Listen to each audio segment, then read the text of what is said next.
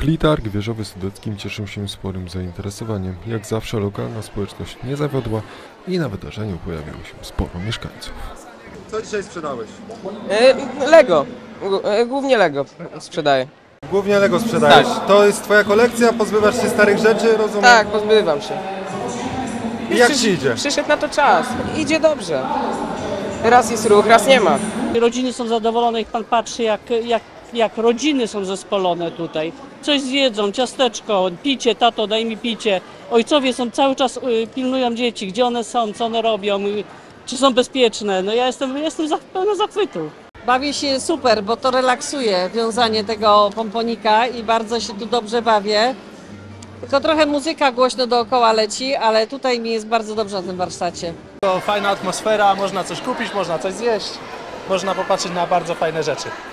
Czyli wszyscy szczęśliwi. Tak, bardzo. Myślę, że jest to wspaniałe miejsce, żeby razem odpocząć, spotkać się, ale przede wszystkim, żeby można było złapać chwilę oddechu w jak najbardziej przyjemnej, radosnej atmosferze. Cieszy mnie to, bo Rada Rodziców zbiera pieniądze na swoją działalność, na wspomaganie dzieci, młodzieży, wycieczek, nagród yy, i wszelkie inne rzeczy, które w ciągu roku są niezbędne dla naszej szkoły. Chlitark edycja druga, pierwszy był w październiku. E, mamy nadzieję, że będzie to nasza impreza cykliczna, która się bardzo e, spodobała dzieciakom, zainteresowanie duże, rodziców wielu. To oczywiście kolejne wydarzenie organizowane w wieżowie Sudeckim przez lokalną społeczność dla lokalnej społeczności. Są występy, są, występują zaproszeni goście, mieliśmy już pokaz tańca. To są dzieciaki, które tańczą u nas w szkole z, ze swoim trenerem. E, teraz mamy, jak widać z tyłu, pokaz e, jiu-jitsu.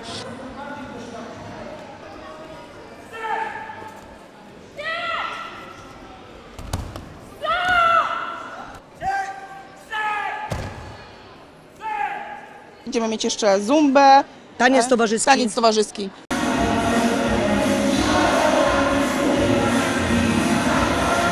Integrować się tutejszą społeczność, e, chcemy być blisko, e, no, chcemy, żeby się wszyscy tutaj znali, żeby się lubili, ale e, też, żeby się spotykali na takich imprezach, żeby po prostu było wesoło. I- bo jesteśmy jedną społecznością i staramy się wspólnie wszystkie imprezy organizować. Dzisiaj też chłopaki ze straży pokażą nam nowy wóz.